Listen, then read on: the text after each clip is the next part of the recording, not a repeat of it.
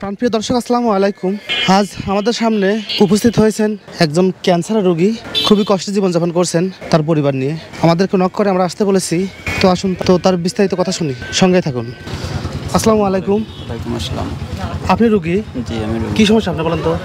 Sir আমি আর দেড় দেড় বছর যাবত চিকিৎসা দেন আমি ক্যান্সারের রোগী। কি ক্যান্সার আপনার? আমার টিউমার ক্যান্সার। টিউমার এটা কোন জায়গায়? এটা কুকসিতে জায়গায়। এই জায়গাতে এবং শোলের মধ্যে বেশ কয়েক জায়গাতে আছে এরকম। কখনো কেউ তো জানে না। আপনার নাম কি? মানে মোহাম্মদ আরিফুল ইসলাম বাবু।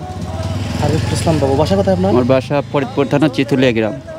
পাবনা জেলা? জি পাবনা জেলা। আপনার পরিবারে কে কে আছে? আমার পরিবারের এই দুটো বাচ্চা দুটো মেয়ে আর আমার পরিবার। দুটো চার- মেয়ে? জি। আরে মেয়ের বয়স কত? মেয়ের বয়স বারো বছর আর এটার বয়স দুই বছর। বারো বছর দুই বছর বয়স। জি। ছোট ছোট বাচ্চা। জি ছোট ছোট বাচ্চা। এখন আপনার পরিবার চলতেছে কীভাবে? এখন আমার পরিবার চলতেছে এই আপনাদের সহযোগিতা দশজন যা সহযোগিতা করে সেটাতেই চলতেছে। চির জীবন থাকার জায়গা না অন্ধকার কবর যে আমার মানে এখন আপনার যে চিকিৎসার খরচ প্লাস খাবারের খরচ খরচা এই নিজের কাছের কেউ দেয় নাকি অন্য মানুষগুলো দেয়? না, অন্য নিজের কাছের মানুষ বলতে কীরকম আমার খাবার, আমার বাড়ির আশেপাশে যারা আছে, তারা হয়তো দেখা যাচ্ছে বাড়ি বাড়ি থেকে চাউল উঠাইয়া আমার খাবার বাড়িতে জোগাচ্ছে। আর আমার চিকিৎসার জন্য ওই দিয়ে ওর কাছ থেকে হাত পাইতে যেটা পাই সেটা দিয়ে আপাতত চিকিৎসা চালাচ্ছি। এখন এইভাবেই আপাতত চিকিৎসা চালা যাচ্ছে। তো এখন মোটামুটি প্রায় দেড় বছর চিকিৎসা দিন আছি। চিকিৎসা থাকা অবস্থায় কেমো বারোটা কেমো ছিল, কেমো শেষ করছি জানুয়ারি মাসের চোদ্দ তারিখে। এখন পুনরায় আবার পরীক্ষা নিরীক্ষা করার পরে দেখা যাচ্ছে আমার ভিতরে সেই টিউমারগুলো এখনও ছোট হয়ে আসছে ওটা এখনও নির্মূল করতে পারে নাই।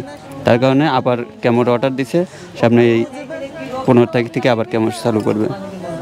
মানে এর আগে আপনি বারোটি কেমন হ্যাঁ বারোটা কেমন নিছি বারোটার ডোজ ছিল বারোটা শেষ করছি। চুল সব উঠে গেছিল হ্যাঁ চুল উঠে গেছিল এবং কেমন আর শুরুর থেকেই প্রত্যেকটা কেমন নিছি পনেরো দিন পর পর চুল হয়ে গেছি।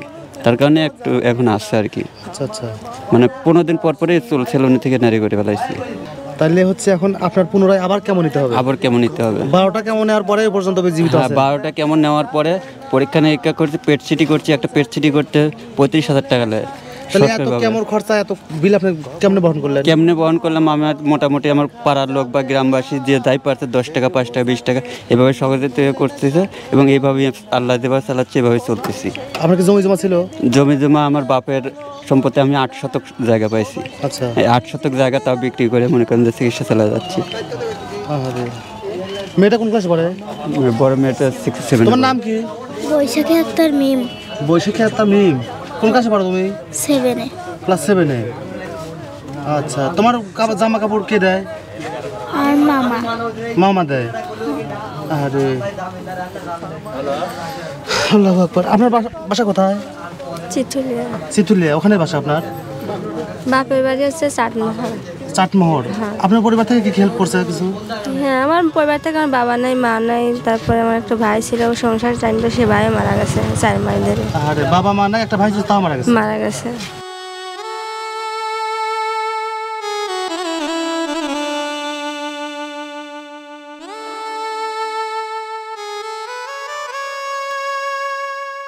যা বুঝতে পারলাম অনেক অভাবে এই পরিবারটা। রোজা করতেছেন কি আপনি? হ্যাঁ ইফতারি করছেন আমার বাসায়? হ্যাঁ। দেখেন তো এখানে কত টাকা আছে?